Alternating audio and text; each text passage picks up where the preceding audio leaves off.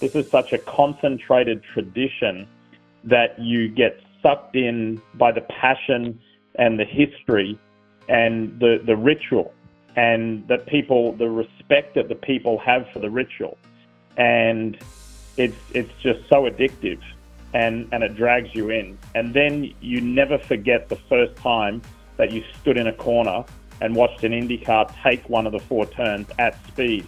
And you don't know whether to giggle or to be afraid. You're excited. You are blown away. You're amazed. And it's a feeling that never leaves you. And there is nothing, there is, it doesn't matter what anybody says, there is nothing like this event on the planet. You may go to an event that has 65,000 people in a stadium, or you may be lucky enough to see 100,000 people in a stadium. But to be at a sporting event where cars are going over 200 miles an hour and there are more than 300,000 people in the one spot at the one time, it's not hyperbole. There's nothing like it in the world.